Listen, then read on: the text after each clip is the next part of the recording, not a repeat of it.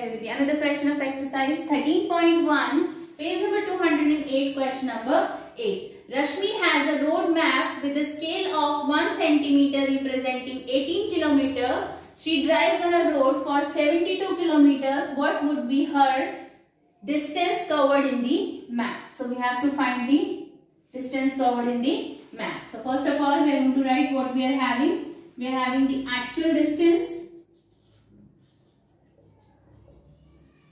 we are having the distance covered in the map. Right here, distance covered in map. Now the actual distance we are having is the 80 kilometer. Then the scale in the map we are having as equal to the 1 centimeter. Now she drives 72 kilometers. She, so she have to mark the distance on the map how much kilometers she traveled. So we are not having the distance covered on the map. So we have to find this one. Now we are going to write here let the ratios are in direct proportion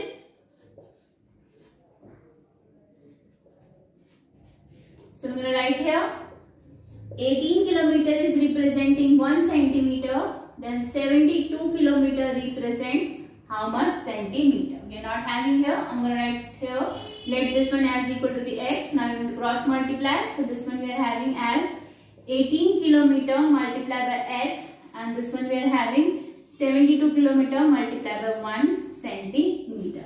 Now we are going to transpose this 18 from left hand side to the right hand side. So this one we are having as the 18 kilometer here.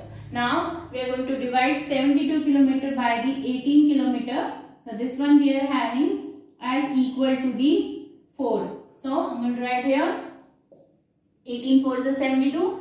So the value of x we are having as equal to the 4 centimeter. So the distance covered on the map we are having as the 4 centimeter when the actual traveled is 72 kilometer. Write the statement here. Hence 72 kilometer represents 4 centimeter on the map. So with this one we have completed the question number 8. In the next video we are going to start with the question number 9.